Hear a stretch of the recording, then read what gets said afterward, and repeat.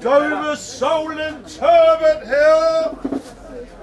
The fish is absolutely fresh. Uh, this is like a once a month market, so a lot of people come here and buy. They buy for the month, they take it away and freeze it, so it's got to be the utmost quality. People that come to farmers market, they're really enthusiastic. They're foodies. They're looking for good food. They want traceability of their food. They might pay a little bit more, sometimes not, but sometimes they pay a little bit more money for top quality. And they're the type of people we love to serve, people that enjoy good produce. Two bass fillets, sir. You do get used to the smell. It doesn't bother me at all. If I go home smelling, it means I've had a really good day at market. So, yeah, the smellier I get, the busier it's been.